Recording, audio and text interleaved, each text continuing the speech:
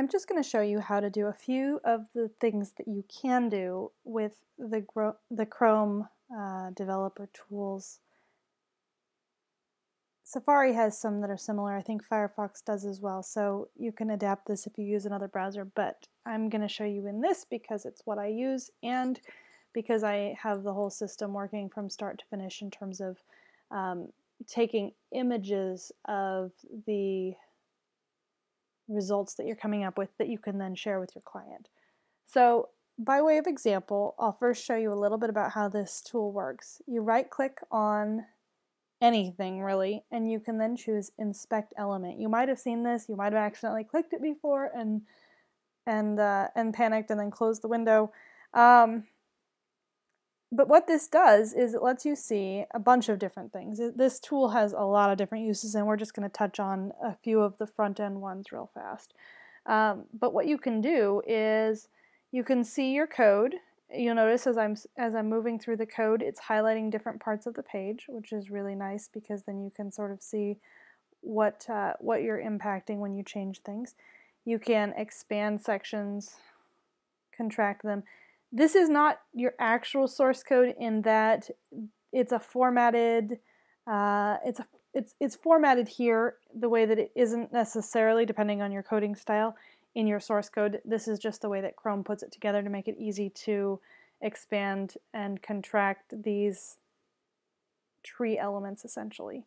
So you can kind of see down, you know, as you go through here, you can see it's highlighting the different pieces. You can use this to get a really quick idea of the size of a very of a given element.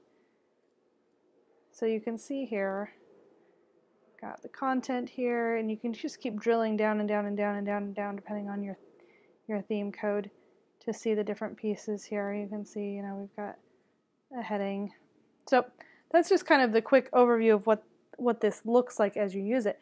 Now the thing that's really cool about this is for any given element, you can see, when you look over here on the right, you can see what styles are impacting it right now and where they're coming from. So have you ever had that situation where you're like, why is it so small? Or why is that that font? And you really don't know where it came from?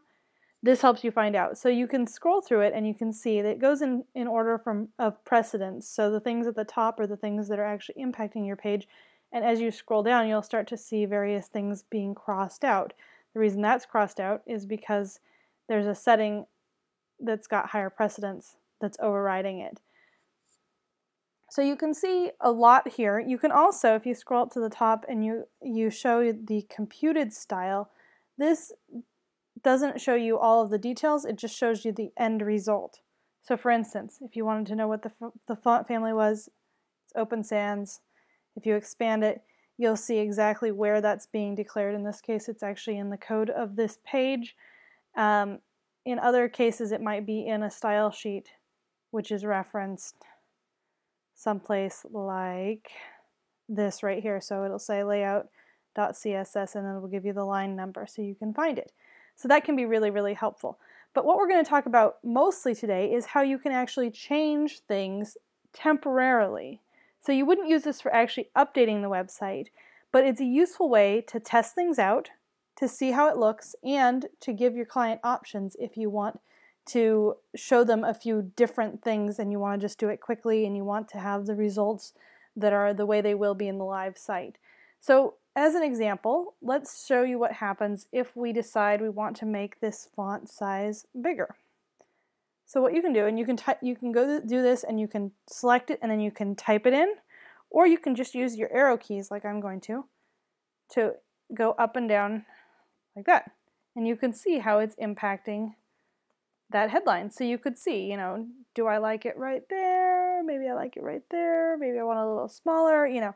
So you can find the perfect size and you can do it live which is so much easier than making a change in your style sheet, saving it, uploading it, refreshing. You know, I mean, that's just, that's a pain when you just want to see what does one point or pixels difference make in this case. So you just, you know, you can do that. It's pretty awesome. This also applies to things like you could change your, your colors of things.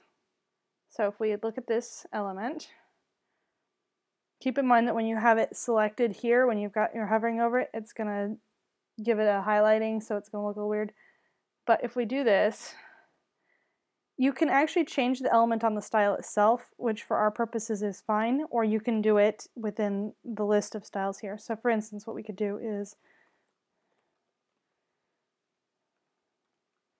ta-da, that's beautifully hideous. So you could do that just to see what it looks like. And again, what you can do is give your client options. I'll show you how to do that right now. So what I'm using is I'm using this um, screen capture tool from Google if you have a screen capture tool, you can use it. What I like about this is that it's very easy to capture the whole page if you're talking about something that's going to impact the whole page. So recently, as, uh, as an example, I was helping a client reduce the amount of, of vertical space between the elements on their page. But it can be really difficult to look at what's changed and then remember what it looked like before. So in that case, what I did is I took a, a, screenshot of the whole page from top to bottom, which was, you know, maybe four or five screenfuls. And and then I gave that to them as kind of a before image, and then I took another one after so that they could kind of see them side by side, flip back and forth between them, see the difference. So you can do that, and all you have to do, this it's really this easy, you just hit capture whole page, it captures it, it gives it to you here, it's an image, you hit save. You can also do things like highlighting, um, adding arrows and lines. You can do all kinds of neat things like that. Um, but I'm just doing the basics here at this point. And you just click save and it will bring up your regular dialog to save it wherever you want to save it. It by default gives it the name that's the title of, of the site and you're good to go. I'm not going to save at this point because I don't really need it, but that's it. So and as another example, I'll show you how you can change out actual images or backgrounds. I just showed you a really basic background change, but what if you want to change something like this? So we'll inspect the element, and sometimes you'll look through this, and there's a few times, you know, when you've got elements that are overlapping, you'll the, uh, the element you inspect isn't necessarily the one you want to edit. So you'll look through here, and in this case, I'm not seeing that background declaration that I would expect, so I'm going to look here, and there it is. So that's the background that's there right now. You can also uncheck, check, uncheck. So you can just disable something that quickly.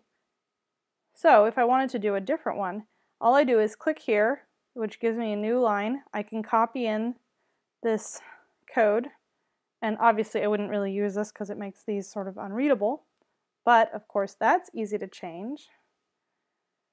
We can just go Let's see, where do we think this color is set?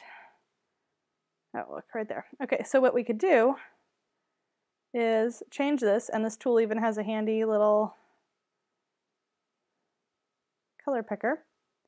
And just like that, we have ourselves white text. Okay, I didn't save it though. Oops. Okay, let me do that again.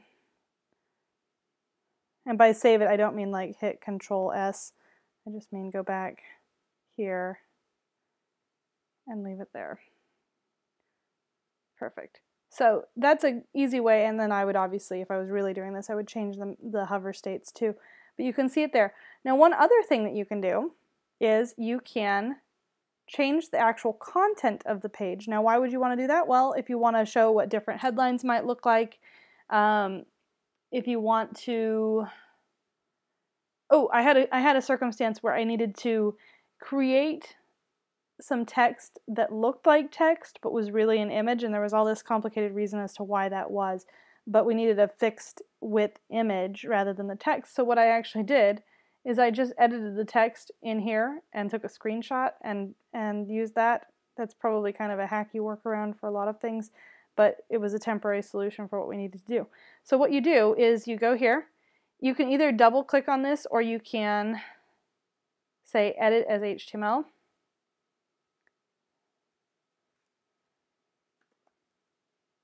And I don't believe it changes until you're out of it. So there, just like that, different code, different content. So it's really that easy. So I highly encourage you to play around with this tool, start changing some stuff, mess with the CSS a little bit, and figure out ways to quickly mock up or test changes, and then here's the caveat. You have to remember what you changed so that you can put it in your actual CSS. So if you change the color of stuff, you've got to remember it because watch what happens if I reload this page. My changes are gone because they were never really changed. They were just showing the display differently. So keep that in mind. Make notes of what you're changing. Anything you want to keep, you'd better copy over to your actual style sheet before you go any further. Hope that was helpful.